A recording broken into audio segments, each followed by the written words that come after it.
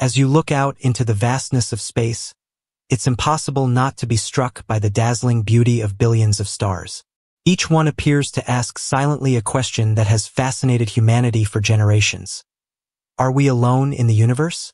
This ancient mystery has inspired the imagination and curiosity of scientists, philosophers, and dreamers for centuries.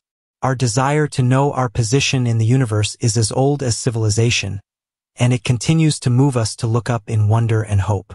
In an aggressive effort to assist in answering that question, researchers recently launched into space a game-altering instrument, the James Webb Space Telescope, JWST. This incredible device is like a supercharged magnifying glass, giving unprecedented clarity in gazing at far-off planets and objects. JWST, though, is far more than a novel telescope.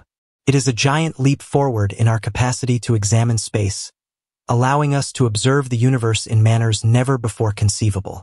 One of the most thrilling achievements of JWST so far has been the discovery and observation of a fascinating exoplanet called K218b.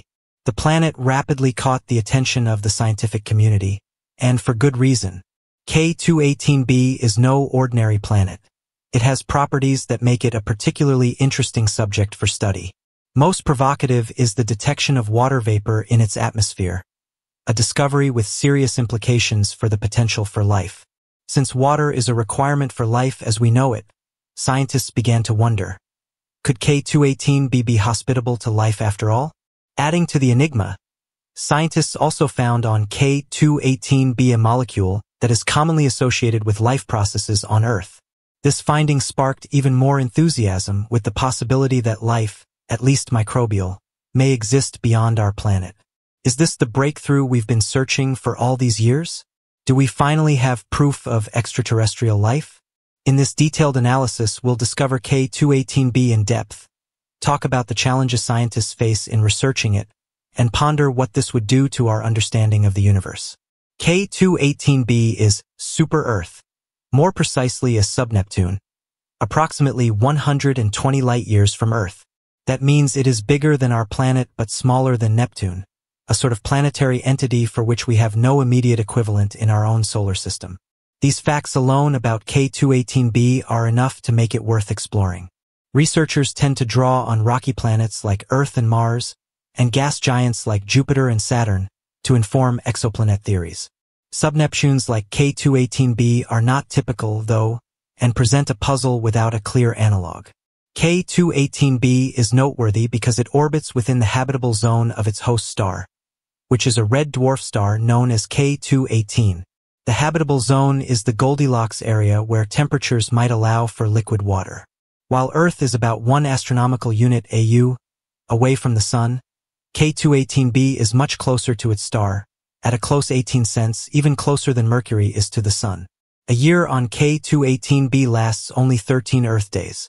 Its red dwarf star emits much less heat than our Sun, so even at this distance, the surface of K218b isn't completely charred. In fact, this has enabled scientists to detect water vapor traces in the atmosphere, a promising sign that the planet is capable of sustaining life. Things started getting exciting when biological signatures were found in the atmosphere of the planet. Methane, which also breaks down quickly in sunlight, was detected along with carbon dioxide. Yet what drew special notice was the presence of dimethyl sulfide, DMS, a molecule that is not typically present in Earth's environment unless there is life. On our planet, DMS is a byproduct created by microbes in the oceans and thus is a robust biosignature. Its existence on K218b suggests the potential for biological activity occurring far outside of our planet. This is especially fascinating because red dwarf stars are typically thought to be too volatile to support life, emitting intense radiation. And yet here's K218b, circling such a star, still with the indications that it may be habitable.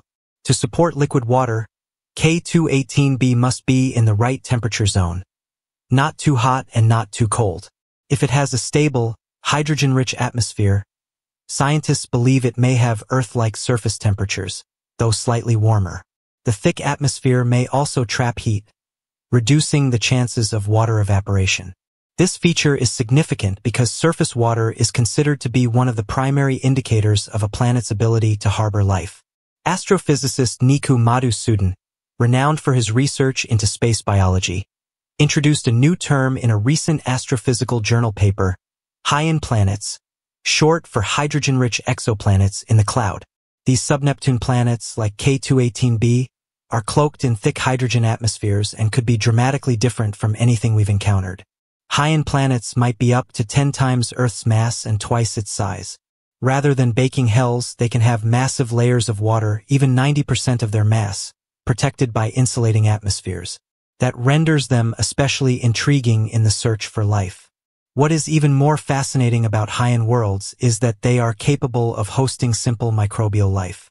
These ocean planets, which are ubiquitous throughout the universe, offer an interesting new batch of planets to study. However, even with the James Webb Space Telescope's advanced technology, studying these planets at close range remains difficult. It required a highly timely observation to get data from K218b. Scientists waited for K218b to pass in front of its star, a transit. As that occurred, JWST measured starlight as it traveled through the planet's atmosphere. The light carries an imprint of what's in the atmosphere, by breaking it down into individual wavelengths like a prism splitting white light into a rainbow, scientists could see which wavelengths were absorbed. Wavelengths that are missing point to chemicals in the atmosphere, and from this scientists can draw a clearer picture of the planet's atmosphere. This method of atmospheric analysis is one of the most promising techniques of extraterrestrial life detection available today. The fact that JWST is able to detect and analyze these signatures shows how far our technology has progressed, and how close we may be to getting an answer to the greatest question of humanity. In short, the discovery of K218b has opened a new chapter in the search for extraterrestrial life. With signs of water vapor, potential biological molecules, and a unique combination of atmospheric conditions, it's one of the most hopeful exoplanets that have been found.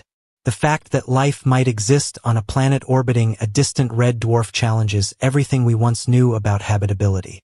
As our tools grow stronger and our quest more ambitious, the universe continues to surprise us, and the mystery of life in the universe remains more alive than ever. The fact that K218b is orbiting a red dwarf star, notorious for its intense radiation and generally considered not to be habitable, makes this discovery all the more intriguing. To find out more about the planet, it is worth noting that for K218b to contain liquid water, it would have to be within the habitable zone of its star, where temperatures are neither too hot nor too cold. If it has a stable atmosphere, temperatures on K218b would be quite like those in Earth's environment. However, its predominantly hydrogen atmosphere could slightly warm oceans. Because of its proximity to the host star, K218b could also receive a thick atmosphere that traps heat, preventing surface water from evaporating. That is a significant impediment because surface water is considered a potential differentiating characteristic for exoplanets like K218b. Tools Astrophysicist Niku Madhusudhan, who has studied DMS in space, proposed a new category of exoplanets in a fascinating paper in the Astrophysical Journal. He proposed the term Hycean, hydrogen-rich exoplanets in the cloud, to refer to subneptunes like K218 be enveloped in dense hydrogen-rich atmospheres. Madhusudhan's planets could be completely alien to anything we've seen until now. Hycean worlds would be able to have 10 times the mass of Earth and double radii. Instead of being hothouse deserts, they would encompass a titanic layer of water and may compose up to 90% of the mass of the planet. These dense atmospheres could trap heat from a star, allowing liquid water to exist over a much broader range of distances from the star than on rocky planets like Earth. What is unique about Hycean planets like K218b is that they hold the potential of fundamental microbial life. If such planets exist, then they would have a vast ocean that could contain the constituents of life. Their relative omnipresence in the universe renders them prime candidates in the search for life beyond the Earth. Even with the advanced technology of the James Webb Space Telescope, it is difficult to see the oceanic features of K218b. In order to unlock the mysteries of this distant world, there had to be a well-designed observation. Scientists needed to observe K218b during transit, a celestial event where a planet passes between its star and Earth. When K218b passed through transit, the JWST captured the light as it passed through K218b's atmosphere. The beauty of this technique is the unique fingerprint that the starlight carries. From the study of this fingerprint, scientists can determine the chemical composition of the planet's atmosphere. This allows them to ascertain which molecules are there and gather information about the planet's environment. The light is broken down into its individual wavelengths, just like a prism cuts up white light into a spectrum. If certain wavelengths are missing from the final spectrum, this provides important information about the chemical composition of the distant world. This method is a valuable resource for scientists since it enables them to develop a general picture of the planet's environment.